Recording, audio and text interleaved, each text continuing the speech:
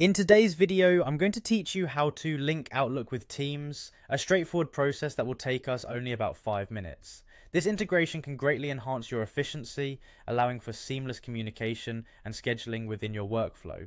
So let's dive right in and walk through the steps together. First things first, let's head over to the Outlook website. If you're not familiar with how to do this, simply open up your preferred web browser and type in Microsoft 365 Outlook login into the search bar you should see the official Microsoft Outlook link at the top of your search results. Click on it, and this should take you directly to the Outlook login page. Now that we're on the Outlook login page, the next step is to sign in. Make sure you click on the sign in button, which you should see prominently displayed on the page.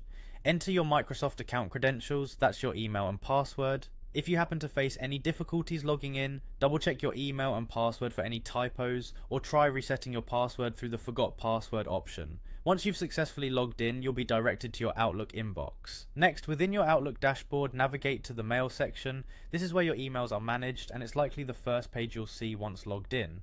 We'll be integrating Teams from here. Take a moment to familiarize yourself with the layout if you're new to the platform.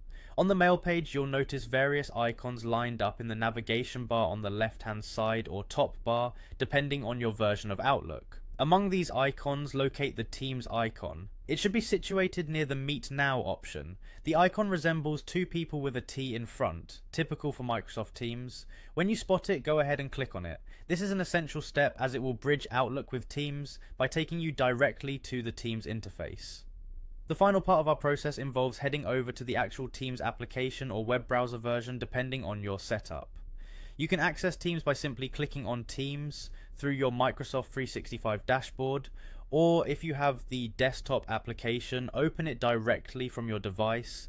Make sure you're signed in with the same account as your Outlook to ensure the integration is seamless. With Teams open, you now have both platforms linked, allowing you to schedule meetings directly from your Outlook calendar and manage them in Teams. This integration means whenever you want to set up a meeting from an email or coordinate with your colleagues, you can do it all in one place without the hassle of switching back and forth between applications. To summarize, you've logged into Outlook, accessed the mail section, clicked on the Teams icon and opened Microsoft Teams. Everything should be functioning harmoniously now, simplifying your task of organizing meetings and communicating through both platforms efficiently. If you're ever unsure or run into any issues, don't hesitate to revisit these steps. Microsoft also provides a wealth of resources and support to troubleshoot more specific problems you might encounter, and that's all there is to linking Outlook with Teams. Quick, straightforward, and incredibly useful for anyone who relies on these powerful productivity tools. Thanks for joining me today. I hope this guide was easy to follow and has helped streamline your workflow. If you have any questions or need further clarification, feel free to leave a comment and I'll be happy to assist. Don't forget to like this video and subscribe for more handy tips and tech tutorials. Happy scheduling and until next time,